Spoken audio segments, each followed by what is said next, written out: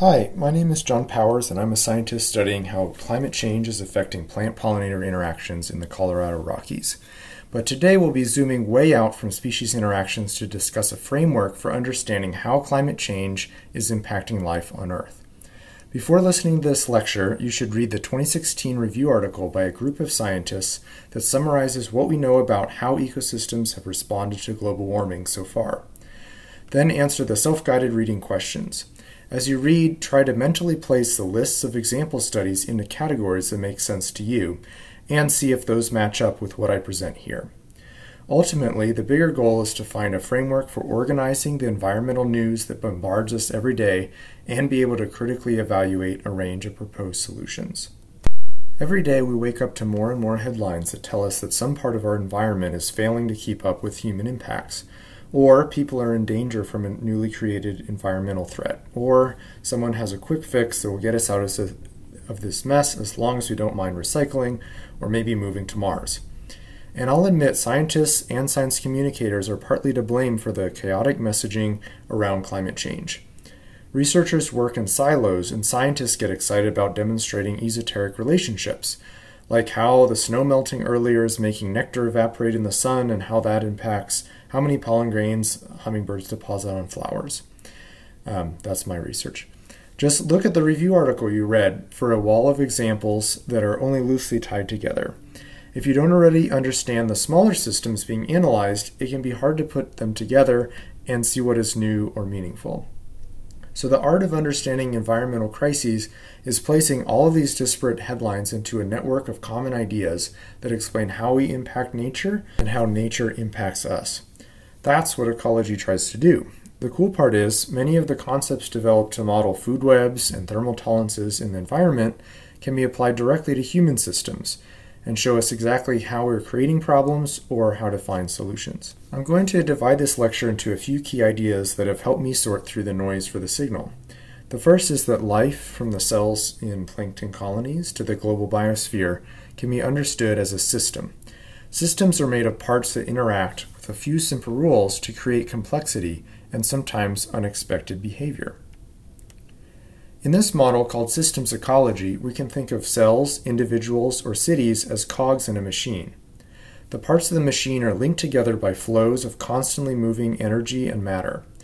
Each part takes certain inputs, like nutrients, or oxygen, or lumber, and according to the instructions in the genes or the structure of their population, turns them into outputs, like cell walls, or carbon dioxide, or school buildings, that then serve as inputs for other parts of the machine. Even starting from very basic parts, systems can get quite complex in how they behave. For example, an individual termite actually knows nothing about building a termite mound. No mental bl- blueprints or commanders to follow, but if all the termites follow a few rules about placing bits of mud, they can build a mound. The key idea is that form follows function. The organization or structure of a virus or a termite mound or a city determines how it works and how it reacts to stress. That was all pretty abstract, so it helps to look at concrete examples of systems at different scales. Here's one that I learned in intro biology about a chemical system that's part of photosynthesis. At the time, I had a hard time appreciating its importance because the focus was on the specific elements, but we gain a lot of power by knowing how all of the pieces fit together, and by paying attention to the flow of arrows instead of the blobs. This system, called Photosystem 1, is used by plants and algae to harvest light energy from the sun, and is similar across thousands of species, likely evolving in the earliest bacteria. It takes sunlight as input and, using a chain of molecules, bounces electrons around until they make energy dense ATP that the cell can use to make sugar. Let's say that you're trying to get rid of weeds on your farm. If you follow the electrons along the arrows, you can see that there are many ways to disrupt this system. You could put shade cloth over the weeds, or use an herbicide that leads to a buildup of outputs like ATP, or use another herbicide to break one of the steps in the chain. But before we had this nice textbook model, this process was invisible to us. The model needs to be conceptualized many times and tested with experiments many more times to establish what components were part of the system and how they interacted. So the next question is, how do we determine a system's structure from disconnected data points? That really boils down to breaking the system or taking apart. which I, I, would argue humans are really good at. We're going to use the Chicago River as an example to think about developing models of systems. Every year on St. Patrick's Day, Chicago dumps a bunch of green dye in the river. Nowadays, they use a non toxic plant based dye, but it used to be an oil based dye, which you can imagine the fish weren't very happy about. The first tool you can use to investigate a system are its dynamics, or how its inputs and outputs and internal pools change over time. Particularly, if you disturb a system with some stressor, how does it respond? Does the system return to a stable baseline, or is it chaotic, moving in unpredictable ways to a new state? If you dump a lot of green dye in the river, does it disappear quickly or hang around for a week? How much dye do you have to put in before all the fish go belly up? Next, you can use a technique called the iceberg model. It's called an iceberg because you can take events or headlines or data points that are visible at the surface and think about broad patterns that tell you about the system hidden below. If the fish only die when you add dye on a warm day, maybe that tells you something about the tolerances of the fish to multiple stressors. You can also look for feedback loops in the system. If everyone who sees the Green River gets excited and dumps their homemade green dye into it, the river will get exponentially greener in a reinforcing feedback loop. A reinforcing feedback loop is where adding something leads to more of that something. If lake water keeps spilling into the river and returns it to being clear, you have a balancing feedback loop where adding something leads to less of that something. Finally, you can take all your knowledge and inferences and draw a web diagram that shows the parts of the system the river, the lake, the fish, the temperature, the Irish, and how they are connected by cause and effect. To figure out which flows and pools in the system depend on each other, you can try deleting some components in the system. As Gandalf once said, he that breaks a thing to find out what it is has joined the path of wisdom. Now let's use these same four tools on climate change. The first thing to notice about dynamics in the climate system is that carbon emission rates into the atmosphere are higher than the world has ever seen. The only events that come close are massive volcanic eruptions, and those usually peter out and let the atmosphere recover. So the question becomes will species be able to adapt as quickly as the planet is warming, or will they evolve or migrate too slowly? Instead of reacting to individual headlines about species extinctions or destructive hurricanes, we can look deeper at the iceberg to see how the climate systems and life systems on Earth are structured.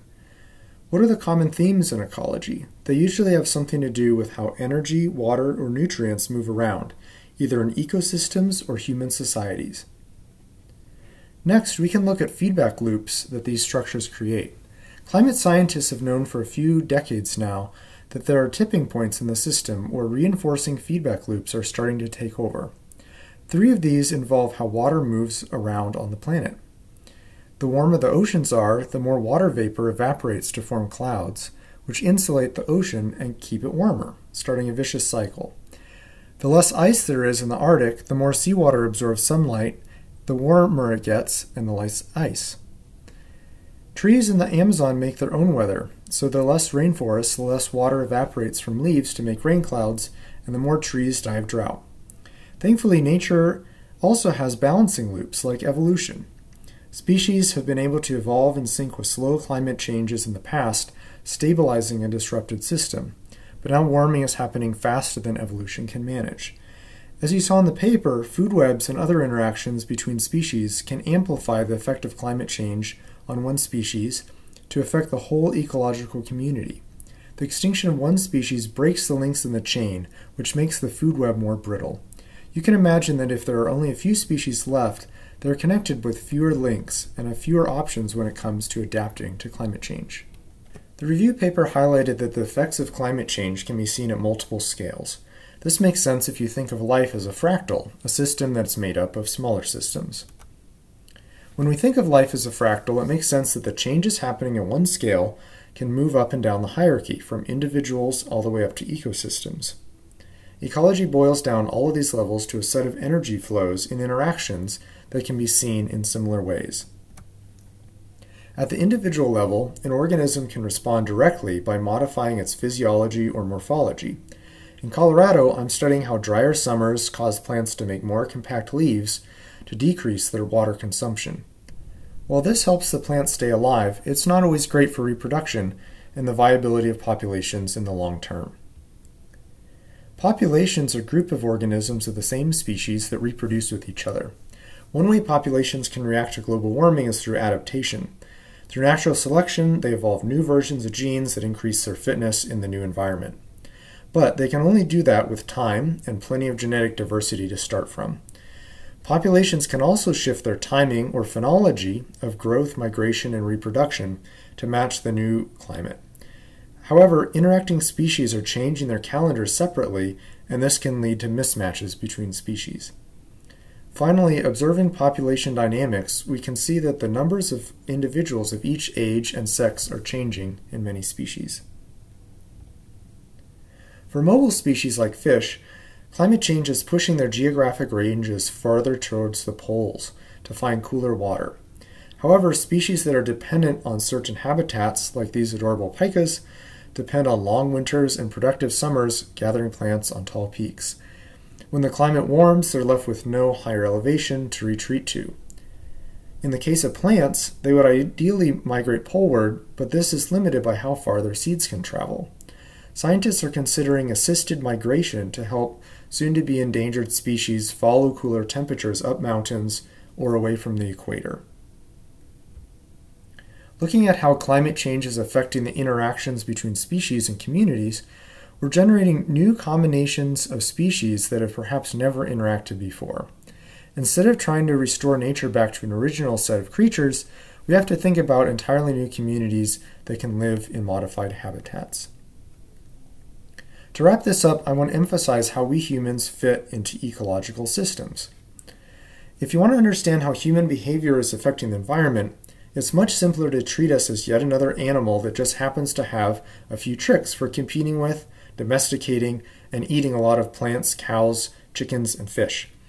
This is a list of just a few of the activities we are engaged in that look similar to those of many other species, just at a larger scale.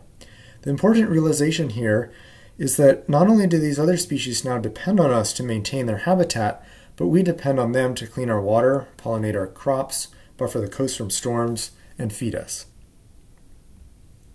This means we can apply all the same principles of systems ecology to address how climate change affects us, ecosystems, and our relationship with ecosystems. How can we positively interact with other species while they are dealing with global warming?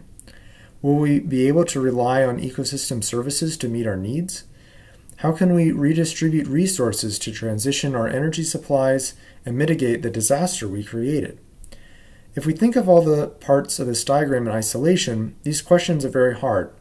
But humans have great power to work with ecosystems and avert an even worse disaster. Let's end by thinking about an ecosystem service like wetlands filtering stormwater or fungi recycling nutrients in forests that currently supports a product or activity that you or your community relies on.